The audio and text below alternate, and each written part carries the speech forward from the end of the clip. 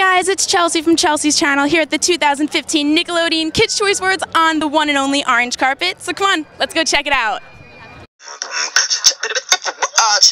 Chelsea's channel, yeah. Hi Pierce, how are you? Good, how are you? I'm good. So we're at the Nickelodeon Kids' Choice Awards today. What are you most excited about? I'm excited to see the concerts. The concert? Who, who do you want to see perform? Iggy Azalea, Iggy, What's your favorite song? fancy. Fancy? Would you sing it with me a little bit? I'm so fancy. You already know I'm in the fast lane from LA to Tokyo.